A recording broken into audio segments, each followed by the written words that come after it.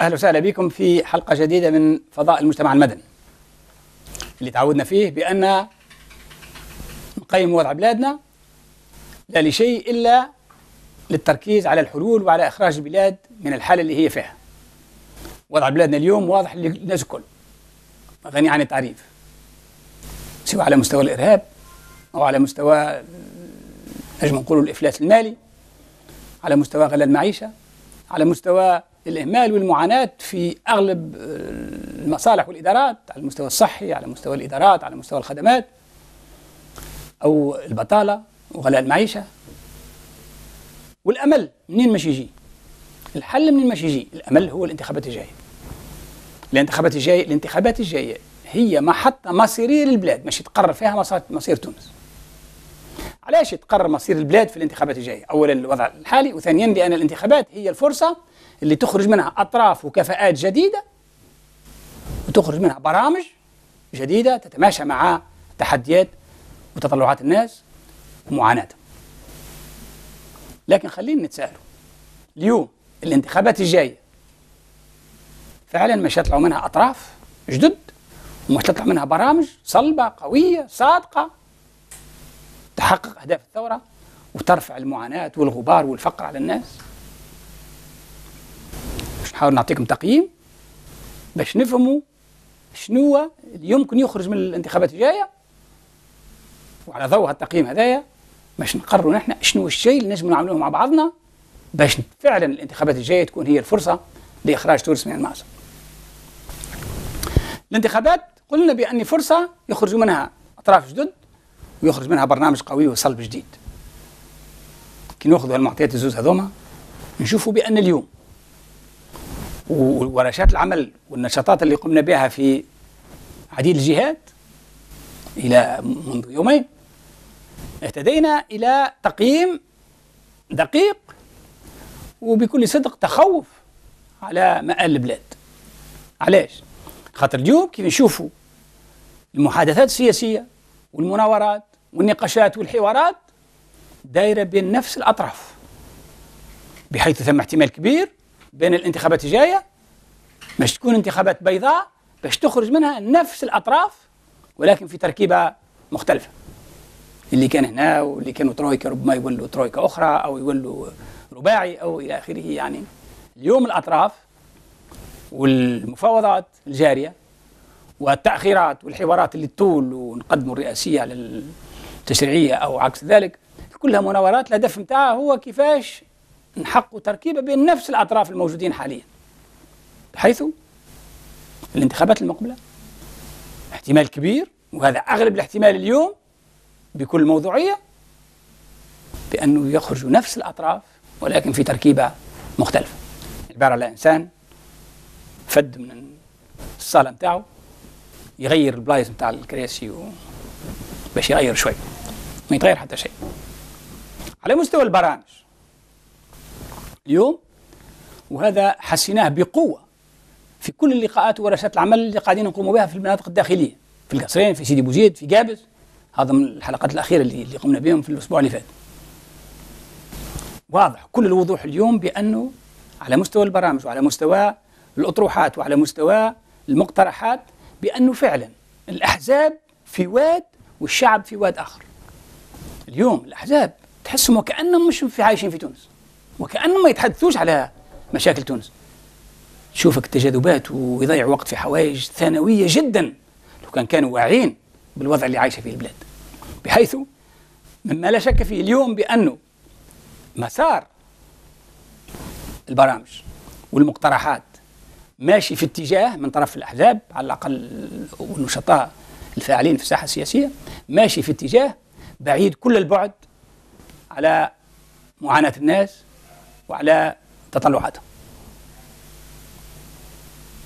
بحيث إذا كان ناخذ هالمعطيات الزوز أظن ثم احتمال كبير وهو اليوم أغلب أقوى احتمال هو بأن الانتخابات الجاية مش تكون فعلا انتخابات بيضاء.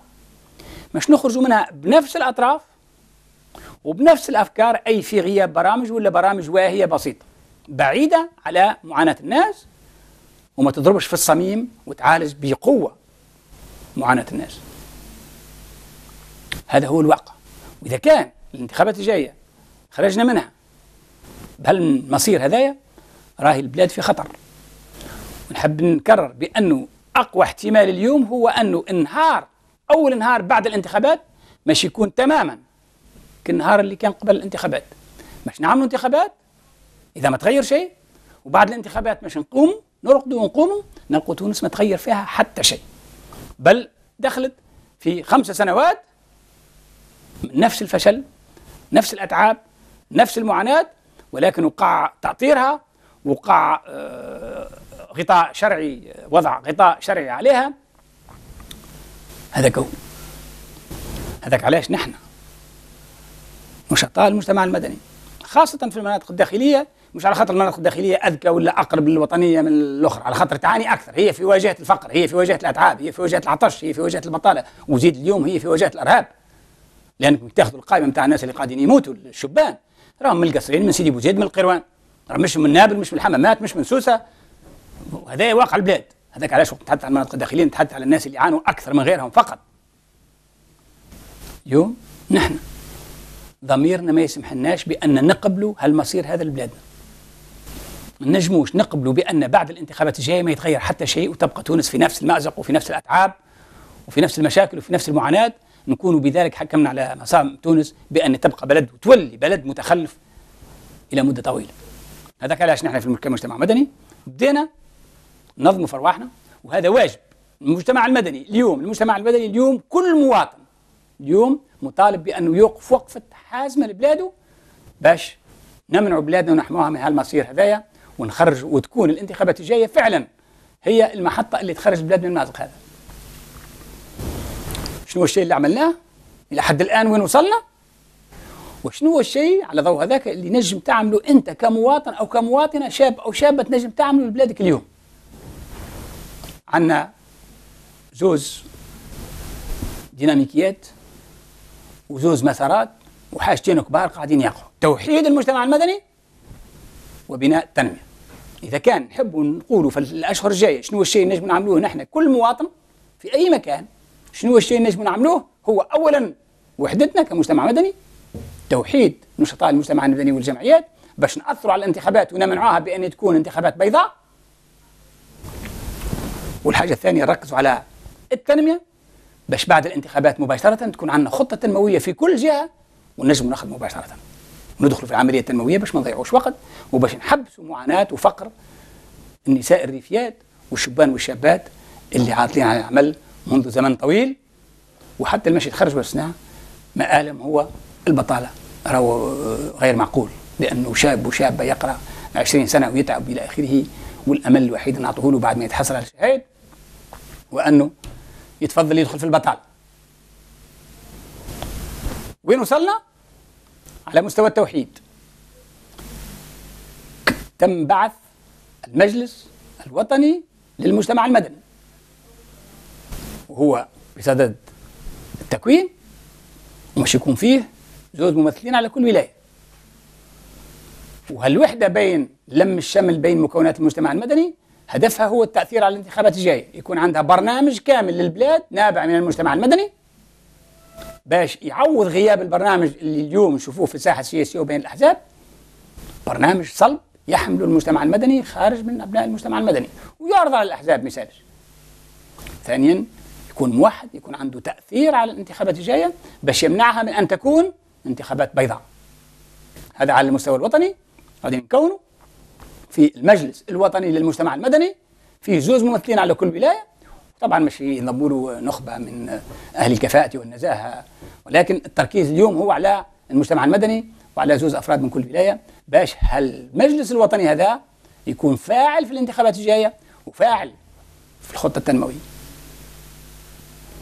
على المستوى المحلي نحن بصدد بعث مجلس محلي للمجتمع المدني يكون فيه ممثلين على كل معتمدية ممثلين على الإدارات على أهل الكفاءة والخبرة في كل جهة وعنده هدف واحد صياغة خطة تنموية لكل جهة. هذا الهيكلين اللي قاعدين نقوم بهم اليوم. والهدف نتاعهم هو بأن نمنع بأن الانتخابات الجاية تكون انتخابات بيضاء. ونحب نضمنوا بأن الانتخابات الجاية يخرجوا منها أهل الكفاءة والنزاهة أطراف جديدة.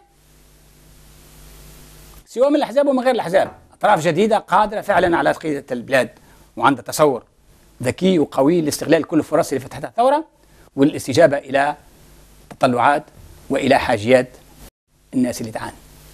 وخطة تنموية قوية تخرج منها الانتخابات هذه وإرادة لتفعيل الخطة التنموية. إذا مجلس وطني كل ولاية مطلوب منها تقدمنا مع عديد الولايات وراه هذا السؤال ربما يتسألوه الناس شنو الشيء اللي نجم نعمل. إذا كان بلادي داخلة في حيط كما يقال كل يوم وفعلا تونس على شفا حفرة فعلا تونس على على شفا الهاوية. تونس اليوم قريب جدا من الهاوية. وراه غير معقول بأن نخلوا بلادنا كيفك ونحن فيها خبراء ونشطاء ووطنيين راه غير معقول هذا. ويتساءل كل مواطن شنو الشيء اللي نجم نعمل. شنو نجم نعمل وأنا باش نساهم في إنقاذ بلادي؟ مثلا تكون عضو كناشط كمجتمع مدني كجمعيات في المجلس الوطني للمجتمع المدني. باش يكون عندنا دور في الانتخابات الجاية باش نمنعوها بأن تكون انتخابات بيضاء باش نضغطوا على الأحزاب باش يخرجوا كفاءات قوية وباش نصيغوا برنامج للبلاد. على المستوى الوطني على المستوى الجهوي كل ولاية اليوم بصدد بعث مجلس جهوي للتنمية باش تصيغ خطة تنموية. خطة تنموية لكل جهة. كل الممثلين على المعتمديات باش يكونوا. اذا كل مواطن اليوم عنده فرصة بأنه يدخل في الديناميكية هذه. راهو ولو من المعتمدية الفلانية تختاروا ممثل أو زوج ممثلات وتحطوهم راهي المعتمدية كلها معنية بصياغة الخطة التنموية. باش بعد الانتخابات مباشرة يكون عندنا أهل الكفاءه والنزاهة في السلطة ويكون عندنا خطة تنموية في كل جهة نابعه من أبناء الجهة مصاغه من طرف أبناء الجهة وبيد أبناء الجهة مفاعلة بيد أبناء الجهة. هذا الحاجتين اللي كل مواطن اليوم من واجبه في رأيي أنا من واجب كل مواطن عنده ضمير وحرص وغيور على هالبلاد من واجبه اليوم بأنه يتحرك في الاتجاه هذايا نوحد وشامل بعضنا. هذا المجتمع المجلس الوطني للمجتمع المدني. هي فرصة وفضاء لتوحيد الجهود باش نكونوا مؤثرين. وصياغة خطة تنموية لكل ولاية من خلال المجلس. الجهوي للتنمية. تكونوه أنتم من المجتمع المدني. وبدأ التكوين. هذا شوانة الزوز اللي يلزم ننجحوا فيهم. توحيد الجهود توحيد مكونات المجتمع المدني والتركيز على التنمية. باش بعد الانتخابات مباشرة تونس نطوي صفحة الماضي وندخل في العملية التنموية ونستغل كل الفرص اللي فتحتها الثورة ونبنوا فعلا بلد متقدم وهذا راه وارد جدا. بعد الفاصل باش نتحدثوا على كيفاش باش نفعلوا هذايا وشنو الخطوات الجاية اللي باش نعملوها باش فعلا نضمنوا بأن الانتخابات الجاية تكون هي خلاص الوطن. استراحة قصيرة.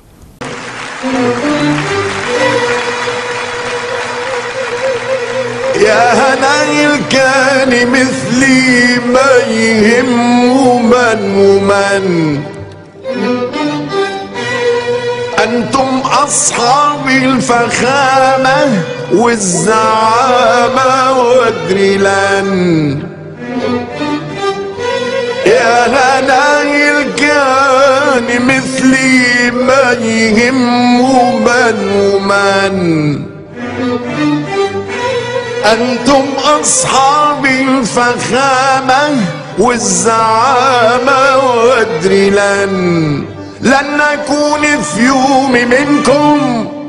يشهد الله والزمن أنا حلمي كلمة واحدة. إن يظل عندي وطن. لن نكون في يوم منكم. يشهد الله والزمن أنا حلمي بس كلمة. ان يضل عندي وطن لا حروب ولا خراب لا مصايب لا محن لا حروب ولا خراب لا مصايب لا محن. خذوا المناصب والمكاسب لكن خلوا للوطن. خدوا المناصب والمكان.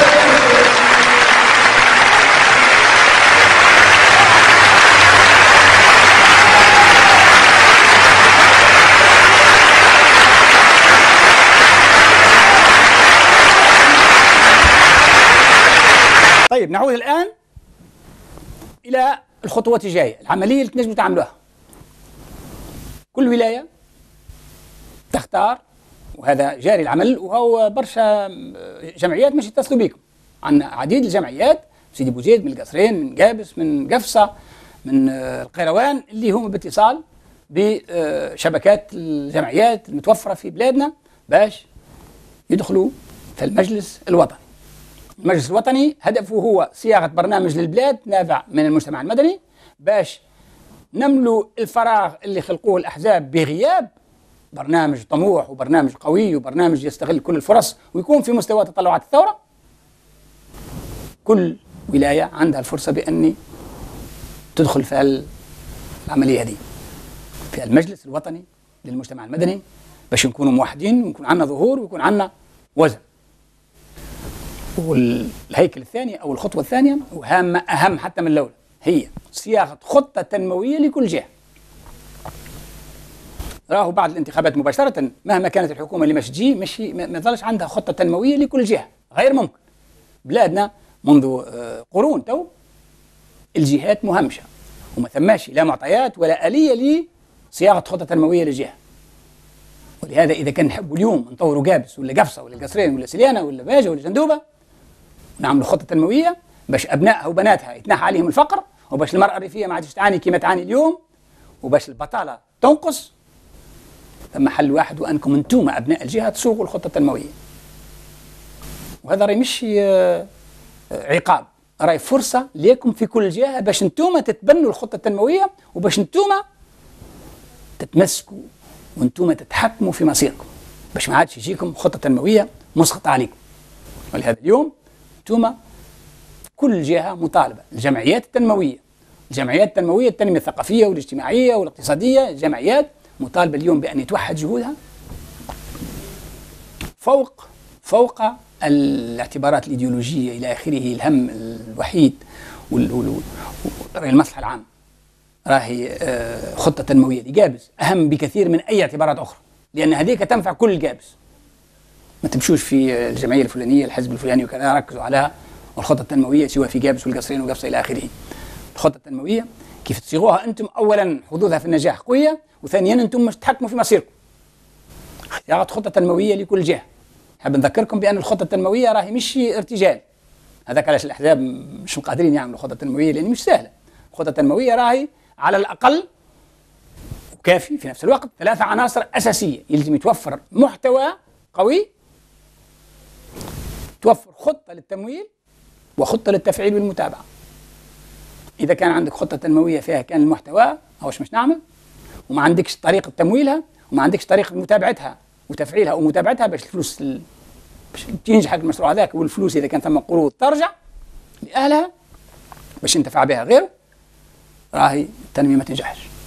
إذا خطة تنموية ثلاثة عناصر محتوى وخطة للتمويل وخطة للتفعيل والمتابعة.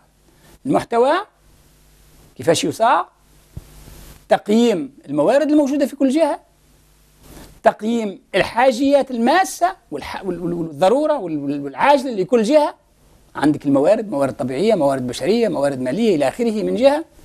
ومن جهة أخرى هي حاجيات الناس وتستعملوا الكفاءة والخبرة. وأنا مستعد بأن أعاونكم في الميدان هذا باش توفقوا بين الموارد والحاجيات. كيفاش؟ الموارد هذيك تصاغ وتفعل في مشاريع باش تلبي الحاجيات هذيك. الخطة التنموية محتواها يجيك من هكا تقييم لما هو موجود من موارد تقييم للحاجيات اللي هي أولويات ومن بعد تحريك وتنظيم وتشغيل الموارد هذيك في مشاريع بقيادة المجتمع المدني باش تلبي الحاجيات هذيك. هذا المحتوى. بعد ذلك الخطة التنموية الخطة التمويلية عفوا خطة للتمويل. التمويل ثم التمويل العمومي وأنا أنصحكم بأنكم لما تقيموا حاجيات الخطة التنموية وأنا نحب نركز على أنه آه، آه، المطلوب بأنكم تعملوا خطة تنموية عاجلة للسنتين الأولى في كل ولاية باش نقصوا من معاناة الناس وباش نحضروا المستقبل. ما تنطلقوش في عمليات كبيرة اللي تضيع عليكم مساندة الناس. يلزم اليوم تركزوا على وأنا آه، حاط على ذمتكم مثلا في في في صفحة الفيسبوك مستشار الشعب حاط على ذمتكم المحاور السبعة اللي تنجموا تركزوا عليها واللي تلبي حاجيات أغلب المواطنين في البلاد واللي هي ما تتطلبش لا وقت طويل ولا تتطلب أموال كبيرة وتنجموا تفعلوها. الخطط التنموية محتواها على مستوى التمويل ما تعملوش على الدولة أكثر من 50% من الميزانية اللي تحتاجوها للتمويل لتمويل الخطة الجهوية. على خاطر السنوات الجاية آه، ميزانية الدولة مش تكون مضغوط عليها مش تكون ضعيفة للأسباب اللي تعرفوها أنتم. ولهذا لازمكم تعملوا خطة تنمويه اللي تعمل 50% على التمويل العمومي والباقي سوى تمويل خاص ورو عندكم الحق بأنكم تتصلوا بجهات خارجية باش تعاونكم طبعا باحترام استقلالية تونس وبدون قيد أو شرط و... ومنظمات عالمية موجودة هذا هدفها وهذا وهذه مهمتها بأن تتعاون وتمول المشاريع وتمول البلدان الناشئة كما كما تونس. وعندكم كذلك اللي ما نسميها المد التطوعي. المد التطوعي بأنه ثم ناس مستعدين بتطوعهم بأنهم يشاركوا. مثلا إذا كانت تعملوا مسالك فلاحية وتو تشوفوا بأن أغلب الجهات محتاجة إلى مسالك فلاحية لأن لأن حالتها بكل صدق مزرية معناها. خاصة وقت يبدا واحد مريض ماشي من المناطق الريفيه وماشي يمشي للمستشفى يمشي نص مريض ما يخلط. غادي كان مريض بحق وبعمر وهذا غير معقول. مثلا تحبوا تعملوا مسالك فلاحية تجندوا الناس ثم ناس متطوعين اللي يتطوع بآلات يتطوع اللي يتطوع بتراكتور يتطوع إلى آخره باش تنقصوا من الميزانية. والشيء الآخر ثم زاد المساهمات اللي سموه تو اكتتاب ولا الكلمة مش باهية ما في البداية كانت راهو الناس تجند أرواحها باش تعاون على النهوض بالجهة لأن وقت تنهض الجهة وقت تعملوا خطة تنموية قوية في ولاية راهو من بعد الناس كلها تستنفع. وراهو اللي يسلف 100 راهي ماشي بغض الطرف على المياه اللي يسلف هذيك اللي مش ترجع له طبعا لأن ضمنتها الجهة وضمنتها الدولة. لكن أكثر من هذا بأن وقت المنطقة وتتحرك كلها من التنمية راهو فرص بأنه هو يقوي ثروته راهي فرص كبيرة وبأنه جديدة وتجارته تتحسن وحالته الاجتماعية تتحسن يعني هذا منفعة للناس كل ولهذا أنتم اليوم كمواطنين نحن كلنا على الأقل هذايا إحساسي أنا. اليوم حتى تونسي ما عنده الحق بأنه يرقد ويخلي البلاد تمشي للمسير اللي محتمل لليوم. الانتخابات الجاية مش تؤدي تونس إلى الكارثة.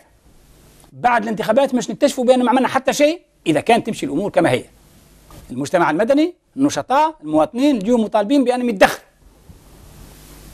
يتدخلوا كيفاش؟ تدخل معروف.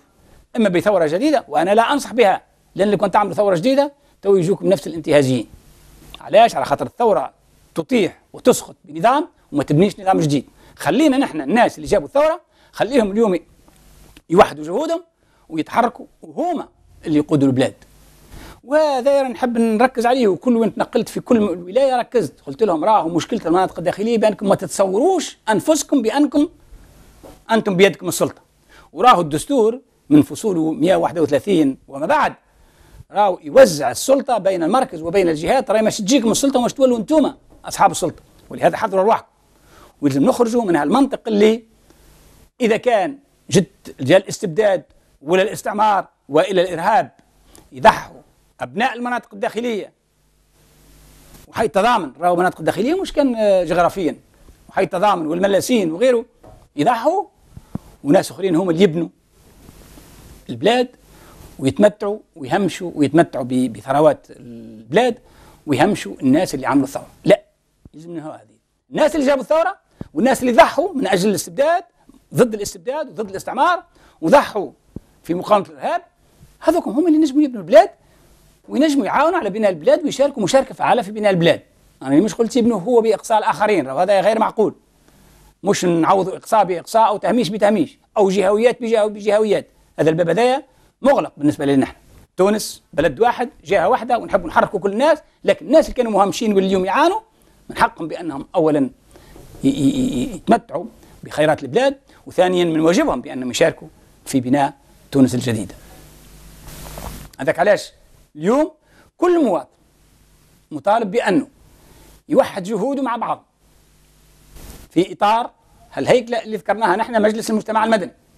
إذا كان عندهم هيك هياكل أخرى ما تمشي حتى إشكال. المهم توحيد الجهود والعمل على توحيد الجهود من جهة والعمل على خطط تنموية باش نضمنوا حاجتين. توحيد الجهود المجتمع المدني باش يأثر على الانتخابات الجاية باش يخرجوا منها أهل الكفاءة والنزاهة والتركيز على التنمية باش كل جهة يكون عندها خطة تنموية بعد الانتخابات مباشرة تفعل. ونحن طبعا في مركز دراسات الاستراتيجية والتنمية الجمعيه اللي رأسها أنا وأنا شخصيا مستعدين بأن نتنقلوا لأي مكان كما فعلنا إلى حد الآن. باش نعاونوكم سواء على تأطير وتنظيم الهيكل اللي ماشي يوحد مكونات المجتمع المدني أو على صياغة الخطة التنموية. باش الولايات تكون مستعدة للتنمية مباشرة. الحوصلة إذن هي اليوم بكل صدق الانتخابات الجاية مش مش تحل إذا كانت بقت الأمور كما هي مش مش تحل أي من مشاكل البلاد. وهذا وهذا يضع على عاتقنا مسؤولية كبيرة. نحن كنشطاء مجتمع مدني كمواطنين كوطنيين ضميرنا ما يسمحلناش بأن نخلي البلاد تمشي للمازق هذا. ما يسمحلناش بأن نحكم على بلادنا بالفشل وبالمعاناة. الشبان والشابات والشهداء اللي جابوا لنا الثورة وعائلاتهم ما نحبوش يكون جزاهم بأن البلاد تمشي للهاوية لا. إذا اليوم كل مواطن من واجبه أن يتحرك لبلاده. السؤال كيفاش؟ هذا الإطار اللي وضعناه هذا اجتهادنا هذه مساهمتنا وراه ناتج على ورشات عمل لثلاث سنوات في المناطق الداخلية كلها في جهات عديدة نقول المناطق الداخلية بما فيها سوسة ورشات عمل عديدة في سوسة عندنا المجلس الوطني للمجتمع المدني وعندنا المجلس الجهوي. المجلس الوطني هدفه الأساسي هو توحيد الجهود والتأثير على الانتخابات الجاية. الهدف للمجلس الجهوي هدفه الأساسي هو صياغة خطة تنموية لكل ولاية باش بعد الانتخابات مباشرة نبدو في العملية التنموية. إن شاء الله نكون اليوم وصلت لكم الأمل اللي آه، آه، في البداية ربما آه، ضيعناه وعندكم الحق بيضيع بأنه الانتخابات الجاية مش تكون انتخابات بيضاء وهذا شيء مؤسف جدا.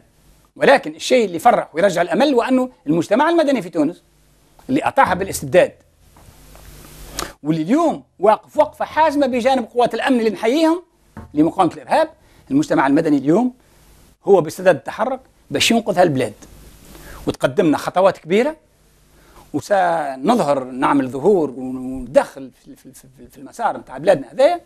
أنا ننتظروا وين ماشي يوصلوا جماعة الأحزاب. اليوم عندنا فرصة بأن نأثروا على الانتخابات الجاية نوحدوا شملنا وعندنا فرصة بأن يكون عندنا. آه، خطة تنموية لكل جهة.